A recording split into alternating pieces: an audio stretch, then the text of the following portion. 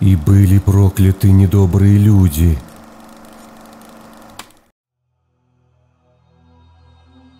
Анастасию в деревне не любили, но уважали. Не любили за то, что гордая была, ни с кем близко не сходилась.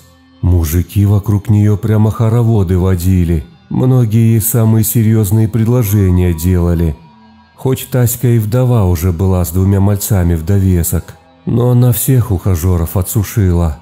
А бабы не могли ее красоту простить, завидовали. Но если у кого в доме беда, все сразу Анастасию вспоминали, знали, что не откажет в помощи. А она и впрямь настоящие чудеса творила.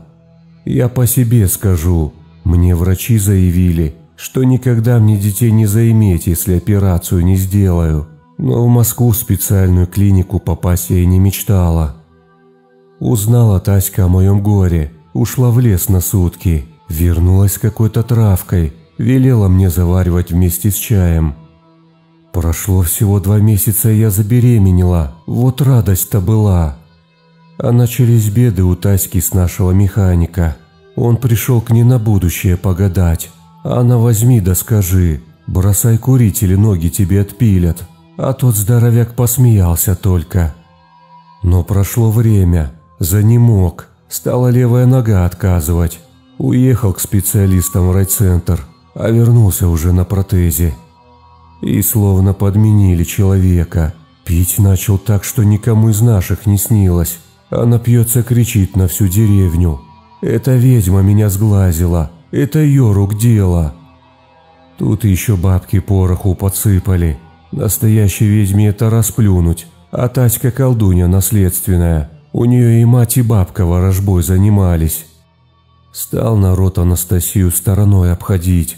Выйдет она на улицу, все бабы детей в дом закликают, черного глаза выходит бояться. Пацаны на взрослых насмотрелись, и туда же давай камни Таськи в окна швырять. Потом кто-то пса ее отравил. А однажды захожу к ней, смотрю, она вся белая сидит. Я испугалась. «Ты что, да что с тобой?» Она тихо отвечает. «Беду чую, и не обойти мне ее». Еще месяц прошел.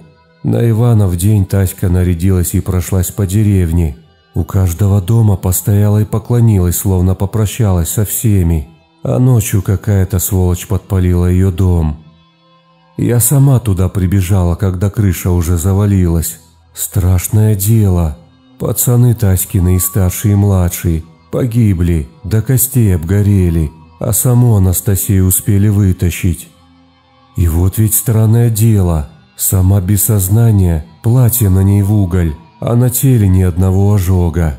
Врачи потом сказали, что угорела она, отравилась дымом и могла бы выбраться, но все пыталась детей спасти. Я дом на мужа бросила, повезла Таську в районную больницу. Четыре часа нас в кузове трясло. Она только стонала, но в себя так и не пришла. В больнице ее сразу в реанимационную палату определили, а я осталась около нее дежурить. В палате еще две женщины лежали. Одна с радикулитом, другая после операции. Четвертая койка была свободной. На ней я и задремала. А потом словно толкнули меня. Очнулась. Смотрю, у Таськиной кровати кто-то маленький стоит. Пригляделась. Да это Сашка, Таськин младшенький. Тут до меня доходит. Он же в доме сгорел. А Сашка Тасю за руку держит и шепчет. «Мама, нам страшно. «Пойдем с нами». А та отвечает, «Я уже скоро, погодите чуть-чуть».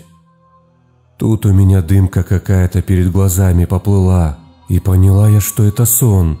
Сразу успокоилась и слышу Тасин голос. «А ты, Вера, из деревни уезжай, не будет тебе там счастья». А когда совсем проснулась, Тасю уже на каталку перекладывали, умерла она. Я целый час ходила вокруг больницы и ревела, а потом вернулась в палату за вещами и слышу, как радикуличица рассказывает соседке. Сон мне приснился, будто к покойнице малец приходил и звал с собой. Тут я опять в рев ударилась, испугалась, как это нам один и тот же сон приснился. В деревню вернулась, а там еще беда. У механика нашего изба сгорела. Я подумала, Бог его за Таську наказал. Но бабы шептались, будто Анастасия сбежала из больницы, чтобы отомстить Ироду, погубившему ее детей. Некоторые даже утверждали, что видели ее возле полыхавшего дома с факелом в руке.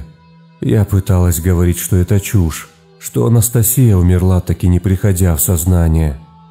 Но на меня все стали злобно огрызаться. И еще я услышала за спиной, как кто-то сказал «Это ведьмина подружка, надо ей петуха подпустить». Я рассказала мужу про все это, про странный сон, где Анастасия советовала мне уезжать из деревни, и мы решили в самом деле уехать. Меня родители давно к себе звали. Уже пять лет, как погибла Таська, я живу на новом месте. Если честно, не жалею, что переехала. Люди тут получше. Да и из старой деревни доходят странные вести. Каждый год на Иванов день сгорает один дом. Напасть случайность. Но местные жители уверены, что это моя подружка-ведьма наложила на них проклятие.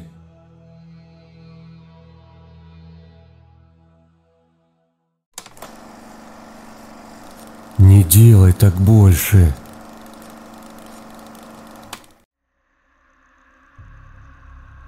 Наверное, все, кто интересуется мистикой, собирает и анализирует истории из различных источников – уже составили себе представление о некой закономерности при появлении тех или иных явлений, как то внешний вид домового духа или метод борьбы с ведьмой.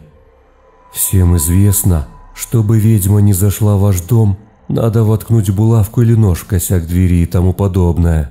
О применении такого метода мне рассказал историю мой близкий друг. Дальше от первого лица. Соседи наши по этажу Переехали полгода назад. Вместо них поселилась одинокая женщина. На внешний вид лет 50-55. Абсолютно ничем не примечательная тетечка. Вежливая, довольно приятная. Живет одна. С моей женой сдружилась, так сказать, по-соседски. В последние пару месяцев раз или два в неделю заходит к нам. Поболтать чаю попить с моей. Причем сладости к чаю сама приносит. Вроде никого не напрягает. Но в последнее время жена стала жаловаться, что у нее самочувствие ухудшается после соседкиных визитов. Тут болит, там болит. Жена у меня медик, за здоровьем своим и моим тоже следит. Но я ей ляпни, она энергетический вампир, к тебе присосалась. Посмеялись и забыли. Три дня назад к нам приехала моя мать. Она в Рязанской области в селе постоянно живет. Видно, они вдвоем эту тему перетерли и пришли к какому-то выводу. И вот прихожу вчера с работы, поужинал, сижу краем глаза телек смотрю. Мать рядом в кресле сидит. Звонок в дверь, соседка пришла. Ее жена за стол в комнате усадила, а сама на кухню пошла. Приходит с кухни с вазочкой яблок и ножиком. Ни чашек, ни печенья не приносит. Положила все это на стол. Сама садится напротив соседки и предлагает пока чайник кипит яблочек пожевать. А сама в это время быстренько режет яблоко на дольки, а нож острем к соседке рядом с собой кладет. Потом и чай принесла на стол поставила. Всех пригласила, но мы с матерью отказались. А соседка как-то быстро чашку отставила и распрощаться хочет – мотивируя скоротечность беседы присутствие моей матери еще кучей всяких дел. Жена и подакивает, мол, да, да, до свидания, но соседка все сидит и не встает из-за стола. Уже пять раз распрощались, а она все не встает и не уходит. В итоге, пока моя женой рукой что-то над столом махала, соседка, перегнувшись через стол, ее за руку ловит, кладет ее руку на нож – ее же рукой отворачивает лезвие от себя со словами «Не делай так больше». Это было сказано так громко и зло, что я аж скочил. Думал, что она на жену накинется, но соседка быстро рванула к двери и выскочила вон. Оказывается, это и мать моя сказала, как ножом соседку проверить. И представь, оказалась права. Она не могла с места уйти, пока нож от нее не отвернули. Больше к нам не ходит, хотя по-прежнему вежливо здороваемся. Вот никогда бы не подумал, что такое может быть.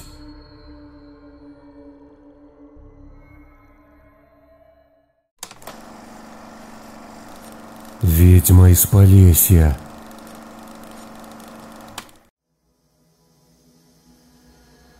Прошу серьезно и с пониманием отнестись к изложенной мной истории, ибо она произошла на самом деле, и я по сей день с содроганием вспоминаю жуткую старуху-ведьму. Случилось так, что в 2005 году нашей семье довелось снимать частный дом в старом районе города Житомира, именуемого в простонародье Маливанкой. Соседка через огород была старая бабуля лет 70 с недобрым взглядом, и пользовавшаяся дурной славой полесской ведьмы. Однако мы сначала ничего о ней не знали и имели глупость ее разозлить, прогнать ее козу, которая полезла пастись на наш участок.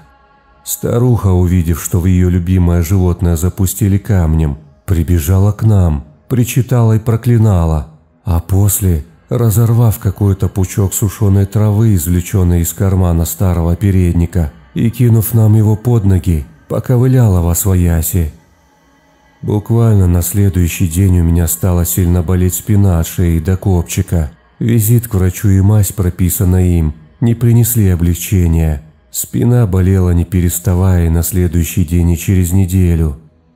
Отчаявшись, я поехал в близлежащую деревню Левков к целительнице по имени Ольга. Добрая женщина откачивала меня сырым яйцом и молитвами и пояснила, что старуха меня прокляла и каким-то образом сделала мой пиджак источником боли в спине. Совет, данный мне напоследок, был необычен и нелогичен, однако я воспользовался им. Приехав домой, я вынес свой пиджак на улицу, расстелил его на траве и стал бить по нему палкой. Минут через двадцать прибежала соседка-ведьма с перекошенным лицом и стала требовать, чтобы я перестал бить пиджак аргументируя это тем, что у нее сильно начало ломить поясницу. Однако я был непреклонен и продолжал свои странные действия. Постепенно злодейка перестала кричать, а начала говорить вполне спокойно и дружелюбно, однако сквозь зубы, наверное, от боли. Она пообещала нас больше не трогать, а я в конце концов оставил избитый пиджак в покое. При первой возможности, она выпала через месяц, мы съехали со съемного дома на квартиру, однако старую ведьму я буду еще долго помнить и не завидую ее нынешним соседям.